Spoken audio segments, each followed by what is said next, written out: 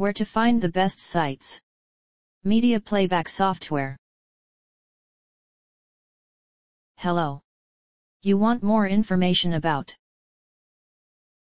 iTunes Error 2705, these selected resources on the web might help you. Our top-ranked site to learn about iTunes Error 2705 is discussions.apple.com. Specifically the page titled Unknown Error 2705 When Burning Protected AACF, Apple. This is the link.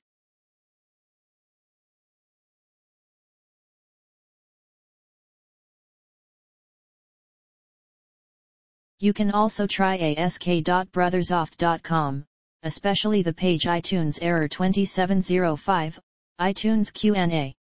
Here's the link.